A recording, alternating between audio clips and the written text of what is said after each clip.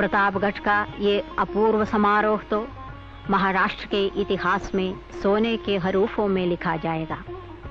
जवाहरलाल नेहरू, भारतीय संस्कृति के लता कुंज में खिले एक दिव्य वन फूल थे।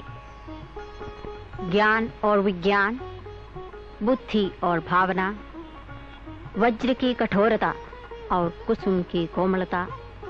नेहरू जी में इन सब का सुंदर समन्वय एक महान व्यक्ति जब दूसरे महान व्यक्ति का गौरव करने आगे बढ़ा, तब कोटि कोटि महाराष्ट्र वासियों के मुँह से धन्योद्गार निकल उठे।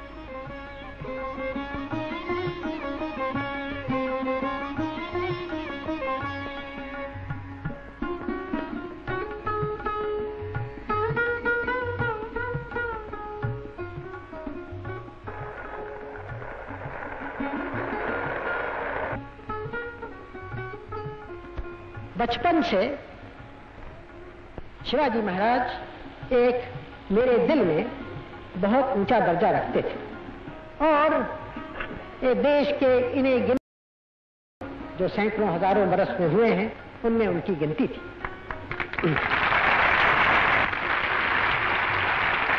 याद रखिए, खाली एक महाराष्ट्र के महापुरुष नहीं, बल्कि सारे भारत के महापुरुष थे। किसी भी भारतवासी के लिए, किसी भी भारतवासी के लिए, चाहे वो किसी प्रांत प्रदेश में रहे, चाहे कोई उसका धर्म हो या जाति हो, हरेक को इस हुई है इनकी शक्ति इतनी हो गई कि उनका सामना नहीं कर सकते। तो हमें ये सबक सीखना है।